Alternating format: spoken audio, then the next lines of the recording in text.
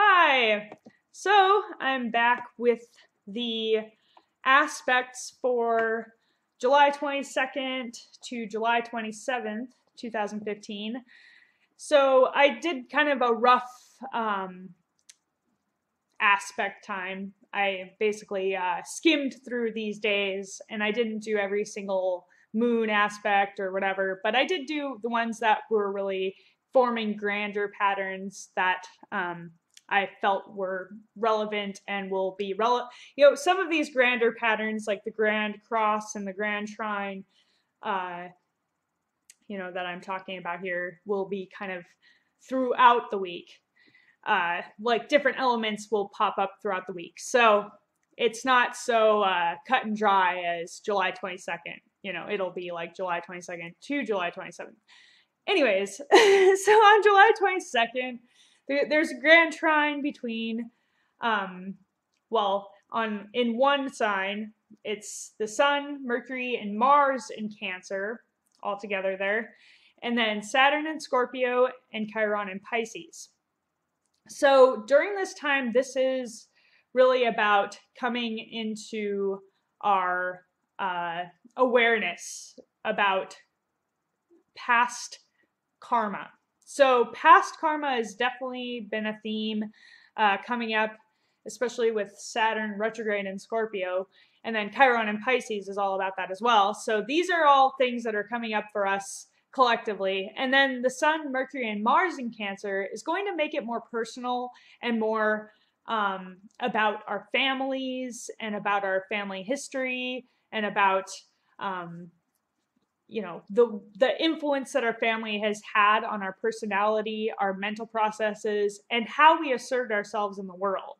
So there could be a lot of emotions that come up about these things and also a need for just really um, being aware of being aware of these things so that we don't succumb to any uh, subconscious predominations or whatever, uh, like things like where, you know, belief patterns and things where, you know, it would subconsciously influence us.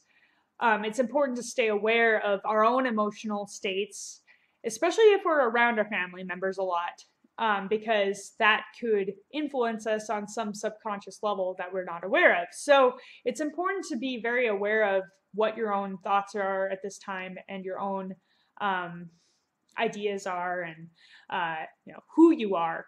So being very active is a really good idea to help work off a lot of this uh, emotional stuff that's coming up for us. Um, you know, Mars being in Cancer can just, it's good to exercise during this time and be very um, in your body and in your uh, aware state you know try not to get too in your head because mercury could lead to thoughts from the past and thoughts of the past and emotions associated with that. So it's a, it's really important to be very like present right now. And so i mean that will help things uh, smooth along easier when it comes to these uh, karmic emotional feelings and such um, karmic patterns and whatnot uh, especially you know being around people who you know have that influence on you like your family. Uh, so yeah. And then there's a grand cross also on july 22nd between the moon in libra mars in cancer uranus in aries and pluto in capricorn. So by the way this is uh, with a 7 degree orb and the other one's with a 10 degree orb between at least uh, a couple of the planets there so, anyways, uh, Moon in Libra is going to put a focus on partnership and our relationships and people in one on one situations, and even could be about open enemies. And ultimately, it's focused on the other people in our lives. Mars in Cancer could be bringing up some amount of wanting to really just go within yourself a little more and you might be a bit more defensive about your own emotions and maybe even a bit more selfish about your emotions at this time and this could cause some rifts in your relationships And so it's definitely, you know, like I said earlier with Mars and Cancer, it's good to, good idea to exercise so that you aren't building up any like frustration of sorts, especially around emotions. So like just getting out and doing more activities can help you to get out of any stagnant energies that might be, you know, coming up for you. And then Uranus and Aries and Pluto and Capricorn, of course, are a part of this Grand Cross. Um, so Uranus and Aries is all about really coming into yourself, your sense of uh, who you are and who you want to become.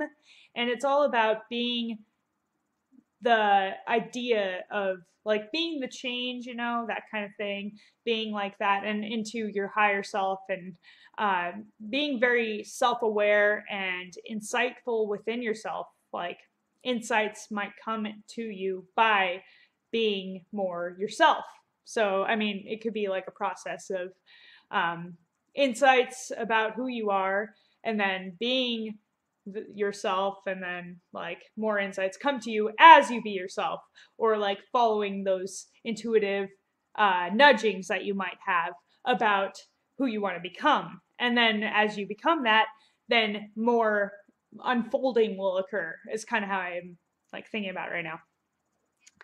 And then Pluto and Capricorn, of course, is like making a huge change in our collective um, about like how we do business and how we portray ourselves in the world.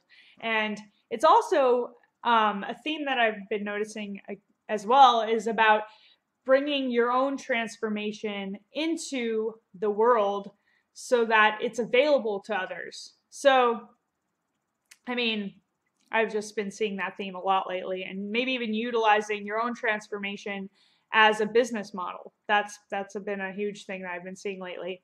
So, taking your own uh, darkest places, trying to come out of those darkest places, and helping to uh, transform others by transforming yourself. On July 26th, a kite is formed with the moon in Sagittarius, the sun in Leo, and the south node in Aries, creating a grand trine, and the north node in Libra opposing the south node and sextiling the sun and the moon. So this is awesome for really um, being in touch with who you are and what you believe in and the parts of yourself and also becoming aware of the parts of yourself that are very egotistical and that may be causing you to be um, less than your best. So it's good for becoming aware of the parts in yourself that are preventing you from being able to connect with others and also preventing you from being able to connect with yourself.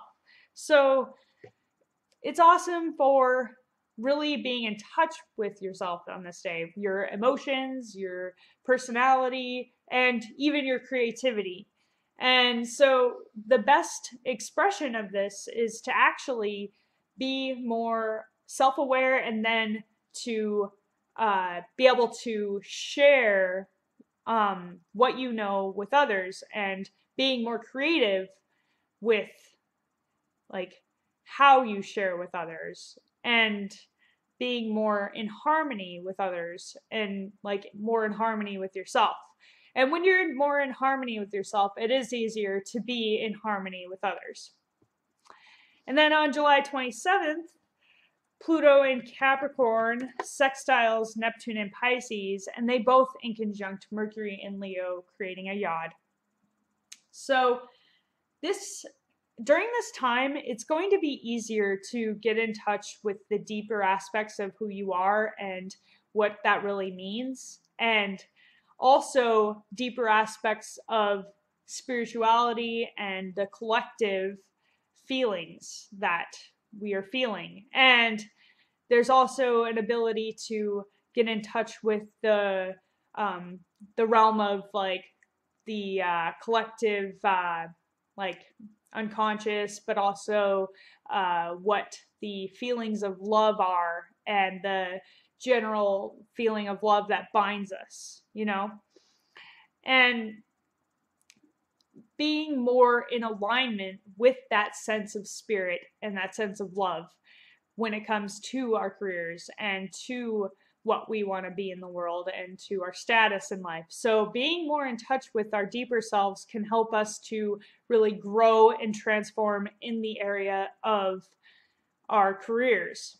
So, that's been like a huge thing is just really coming into what our ideals are and then trying to manifest them into reality in a way that makes sense for right now. Because it's not easy to just uproot everything and then um, you know start from scratch it's actually kind of more of an implement like an implementation process of um, just starting with yourself and starting with where you're at now rather than kind of a entire like crumbling of society itself that's not likely to occur and it's probably way worse if that happens, honestly. Like way more destruction, way more chaos. I you know, in my opinion, like starting from a more spiritual place and then like growing yourself and what you would like to see in the world, that's actually a more peaceful and more viable approach, especially with the internet these days. And with them both in conjunct Mercury and Leo, I mean, it really is about expressing yourself, expressing these things, expressing that in conversation, in, you know, on the internet or whatever. But being very creative in your communication about these things, like, um, by getting in touch with those deeper aspects of yourself, you can really get in touch with your creativity and be able to write these things in a way that makes sense for people and that makes sense uh, for helping them to transform even. Like writing like materials that are really getting to the core of what is occurring you know on these levels occurring in the spiritual sense occurring in your uh, transformation and whatnot so yeah i mean the struggle of course is overcoming our own egos so that we can just express ourselves without feeling blocked by our ego because you know there is that aspect as well and then a grand trine is formed between the moon in Sagittarius, Uranus in Aries, and Jupiter in Leo with a six degree orb on July 27th as well. So some major insights and expansive ideas could really come in during this day and getting in touch with good feelings within yourself. Good feelings and um, you know positivity optimism getting in touch with yourself in a very positive way and feeling really good um, can help you to really expand upon your joy and your insights because those things all kind of go hand in hand. If you're having a good time and you're like uh, just getting into the thick of uh, the moment, getting into the moment and enjoying yourself, then more insights do come in and uh, more expansion comes in and just uh, new ideas will likely come in as well. So yeah, that's it for this uh, time frame. I hope you enjoyed it. And if you did, make sure to like, subscribe, comment, and share. I really appreciate it. And I'll talk to you soon.